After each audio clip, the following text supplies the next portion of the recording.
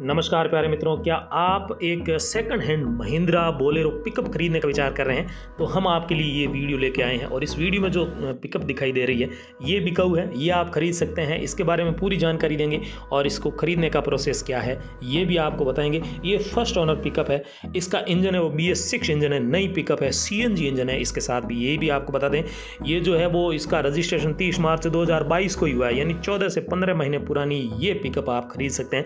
बहुत ही कम कीमत में। चली हुई भी बहुत कम है, चार हज़ार सात सौ किलोमीटर चली हुई है। इसका टैक्स है, वो लाइफ टाइम भरा हुआ है इंश्योरेंस है।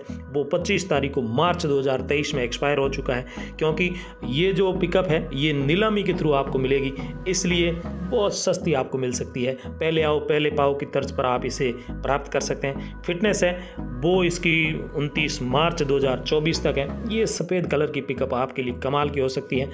और यदि इसके नीलामी की बात करें, उससे पहले आपको ये बता दें कि ये जो है, इसका मॉडल है, वो 2022 मॉडल है, जैसा कि हमने चर्चा कर ही ली है। तीस मार्च 2022 को इसका जो है, वो रजिस्ट्रेशन हुआ है।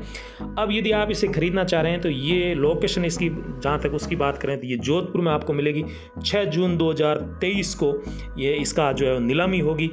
Shri Ram automall India limited जो जगह है, वहाँ पर इस गाड़ी के साथ अन्य गाड़ियों की भी नीलामी होगी, पर ये एक हॉट डील है क्योंकि काफ़ी नई पिकअप है और इसे खरीदने के लिए हो सकता है आपको मौका मिल जाए। साथ ही यदि नीलामी की पूरी प्रोसेस की बात करें तो आपको जो है वहाँ पर बीस हज़ार रुपये जो है वो सिक्योरिटी जमा करवानी पड़ेगी, फिर आपको नीलामी में आप भाग ले सकते हैं। फिर यदि आपको ये गाड़ी मिल जाती है या कोई और भी गाड़ी पसंद आ जाती है और वो मिल जाती है तो वो जो बीस हज़ार रुपये हैं, वो गाड़ी की कीमत में एडजस्ट हो जाएँगे और यदि आप गाड़ी नहीं ले पाते हैं तो वो बीस हज़ार रुपये आपको वापस मिल जाएँगे। तो छः जून दो हज़ार तेईस को श्रीराम ऑटोमोल इंडिया लिमिटेड में आप नीलामी में भाग ले सकते हैं। नीलामी की पूरी प्रोसेस के बारे में यदि आपको और ज़्यादा जानकारी चाहिए तो डिस्क्रिप्शन बॉक्स में हम वहाँ के कॉन्टैक्ट नंबर है, वो भी लिख देंगे।